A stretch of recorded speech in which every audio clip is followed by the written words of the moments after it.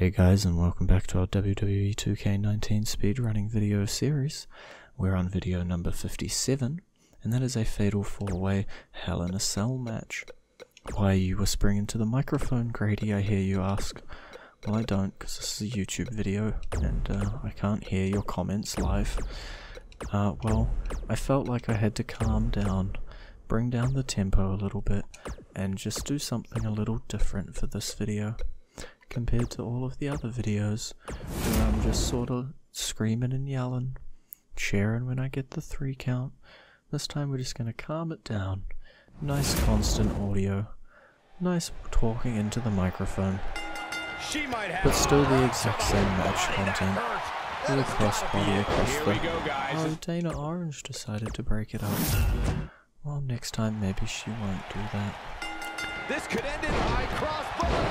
She'll have another opportunity. Go, she did in fact break it up again. Well, isn't that interesting?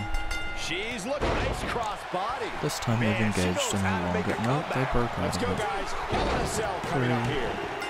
Yes. Thank you, Dana Orange and Dana Red, for failing to break up that pinfall. The devil You was were really the Hell in a MVPs match. for Let's take this another look, match. guys. Alright, well guys, that was video number 57 of the video series. There's 142 of these. If you've watched the other 156, I hope you enjoyed the next Wow, I can't believe 90 the amount odd videos that had to be when I get to them. order for those But uh, until then, for the three count. we'll see you in the next video.